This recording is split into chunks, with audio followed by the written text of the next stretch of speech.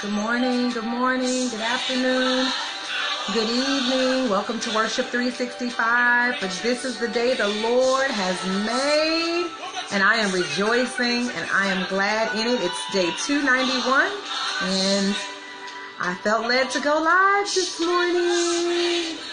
So I'm going to worship just a little bit for a minute. Just worship with me, invite, share and just worship the Lord with me in spirit and truth. You Are My Strength by William Murphy. Yes, subject title is Strengthened.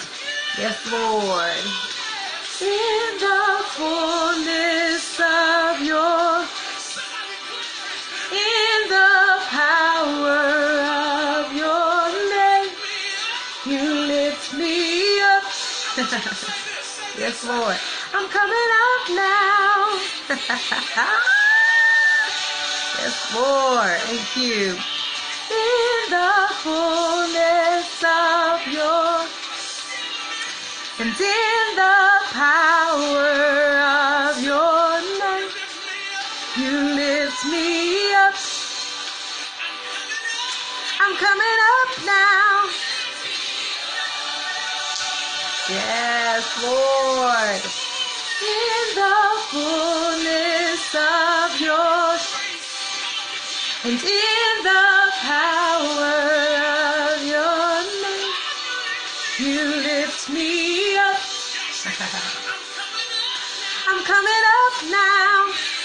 Lord. Thank you, Lord. Hallelujah. We love you, Lord. We bless your name in this place. You are worthy of all the glory. You are worthy of all the honor. There's nobody like you. You are worthy of all the glory.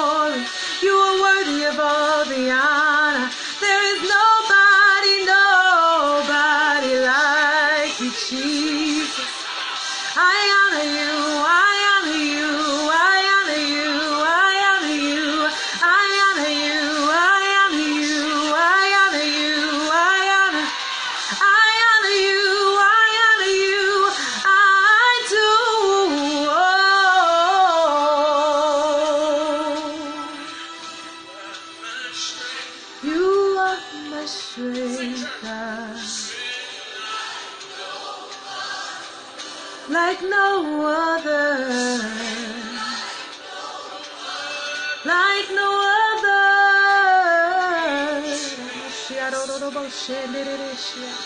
I love you, Jesus.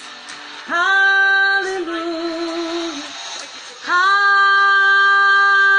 Hallelujah, Jesus.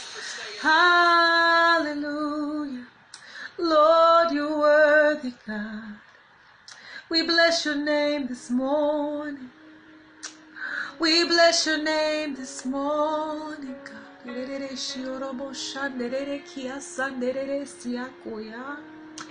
Oh, we bless your name. Oh, we bless your name. Oh, we bless your name. Thank you, Lord.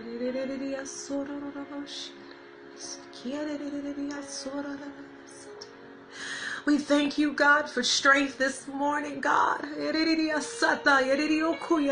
The strength that you give like no other, God.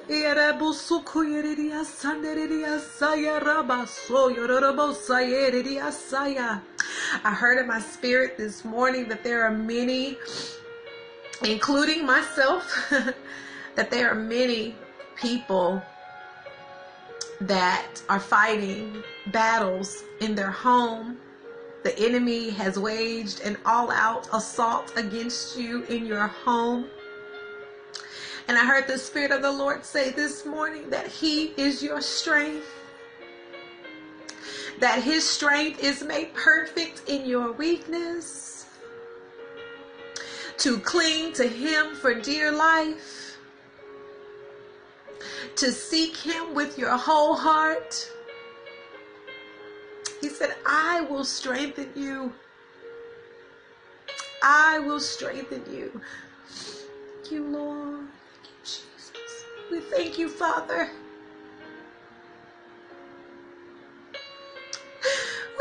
You, Lord. We thank you, Lord, for your strength.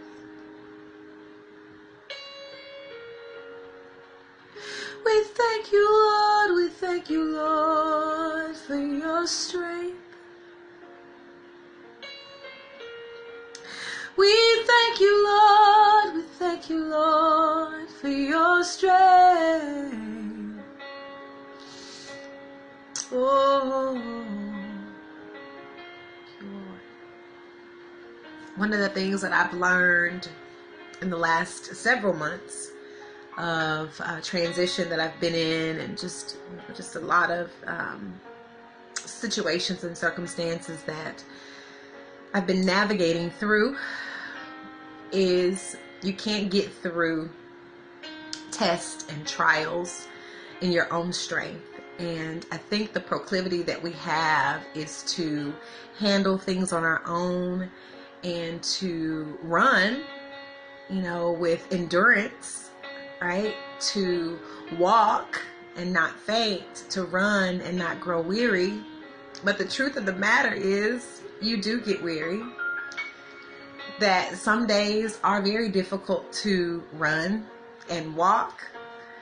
And the Word of God is true. And so, what I found is that circumstances have the ability to wear you down to the point where you're not strong enough to fight.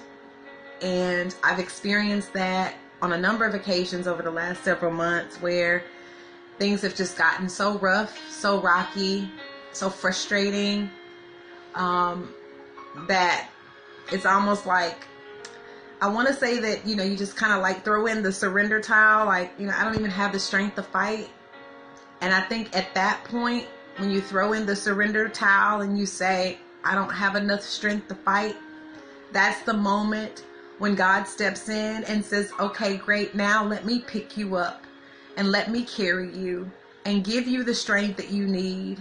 And in the midst of me carrying you and strengthening you during this time, I'm going to fight your battles. I'm going to go before you. You can rest in me, right? And while you're resting in the palm of his hands, while he's carrying you through your battles, while he's navigating you through situations and circumstances, sometimes all you have to do is just say, Lord, if I can just hear your voice, I can get through the day.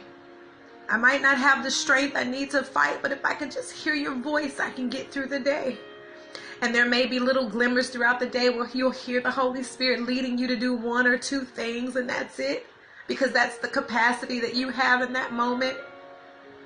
But all along, He's carrying you. You're still in the battle. You're still fighting, but He's carrying you and He's fighting for you. The situations and circumstances may not change, but He's fighting on your behalf, all while He's carrying you, all while He's strengthening you, all while He's saying, I got this and I got you. And so, what I found is during the last three months, really four months. It's been four months July, August, September, October. Yeah, it's been four months. Over the last four months, I found that I've just been being carried. I let go of my need to fight. I let go of my need to be strong and keep going in spite of and all of that and just rested in in God. And that didn't mean that I didn't have to do anything. That meant I had to trust him. That meant I had to rest and be okay with how things were unfolding and trust Him enough to know that he will never leave me nor forsake me and that this is a part of his plan. This is this is how champions are made. Thank you, Holy Spirit. This is how champions are made. They're made in battle. They're made when they realize that it's not their strength, but it's the strength of the Lord. They're made when they realize that if God doesn't go before me and perfect those things that concern me, it won't happen. And and being okay with resting in that. Resting in that truth. Resting in those promises. Because he is faithful. He is faithful to perform his word. He is faithful. He is faithful. And so I wanted to jump on this morning and just share my heart this morning as I am still in the middle of it all. um, but I am being strengthened every day. Strengthened to stand. Strengthened to stand. I remember I was dealing with a challenge um, about three years ago with my business, and I had done all that I knew to do, and I prayed about it, and even fasted about it, and talked to my grandmother,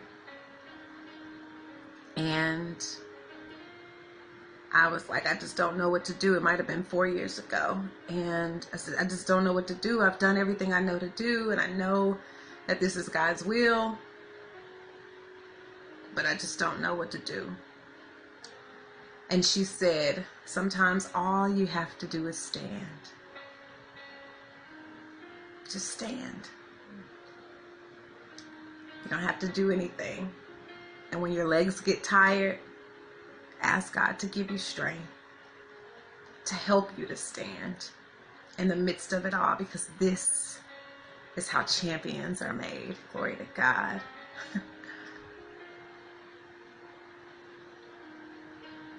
and so I just want to encourage you this morning that no matter what you're dealing with in your home, in your family, the one thing that has kept me in my right mind, moving forward in spite of, is my ability to tap into worship, is my ability to tap into His presence. And the days that I chose not to worship, the days that I chose to try to just say, forget it, I can't do this, those are the days I felt the most defeated. Those are the days that I wanted to give up.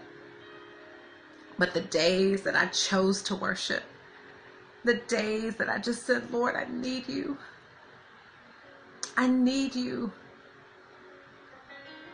Those are the days that I felt His presence. I felt His strength.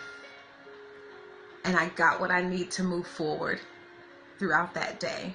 It's a daily thing, it's a daily commitment, it's a daily renewal daily repentance, daily seeking, daily crying out.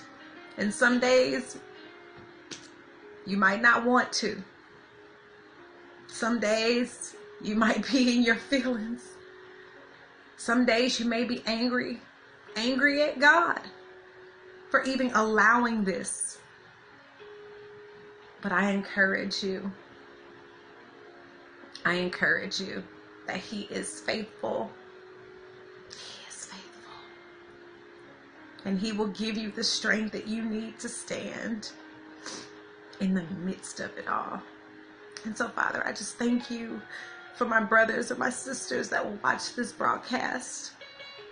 I thank you, Father, for supernatural strength, the strength that only you give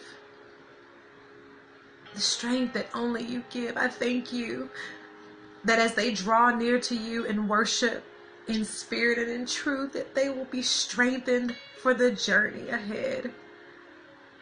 Father, there are many battles that we're called to fight as warriors, as ambassadors for your kingdom.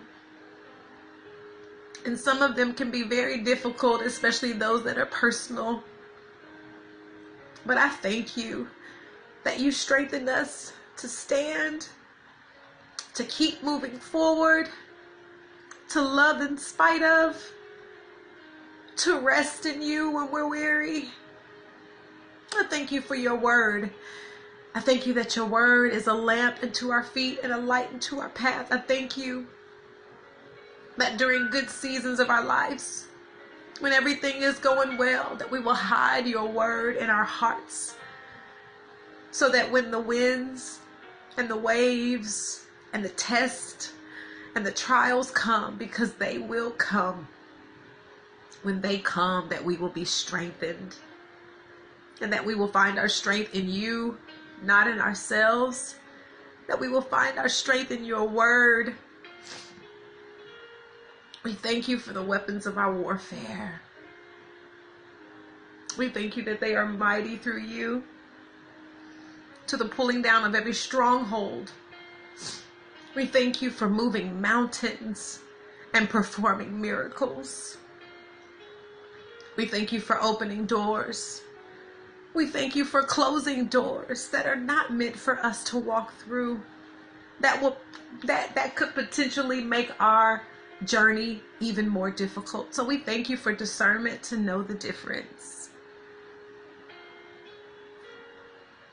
We thank you. We thank you for being for the strength that we need to continue to move forward in everything that you've called us to do, even the difficult things. Thank you, Father. Last thing that I just heard when I was praying is that accepting God's will for your life may not be easy.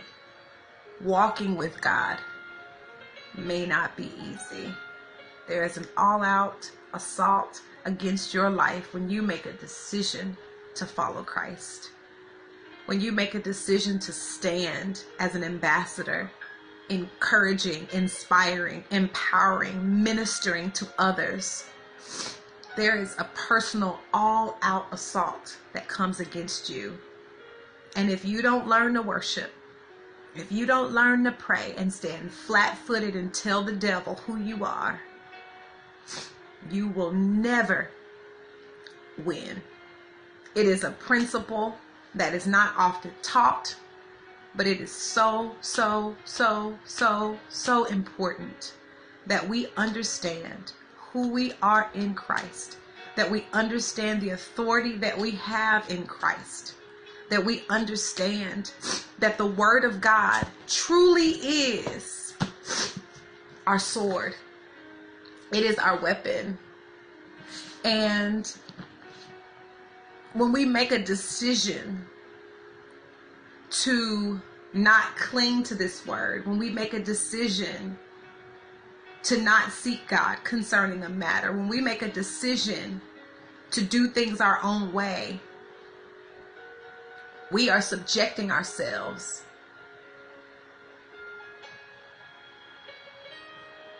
to battles that we will never win because we have to make a decision to fight the battle the way God has given us the tool with with the tools that God has given us. We fight our battles on our knees. We fight our battles in worship. We fight our battles on our knees. We fight our battles in worship. And so I encourage you today to draw near to the Father in spirit and in truth that you may be strengthened for the journey ahead. I love you with the love of the Lord. I pray God's blessing over your life and over the lives of your family. In Jesus' name, amen. Have a blessed day, and I hope to see you again really soon. Talk to you later. Bye bye.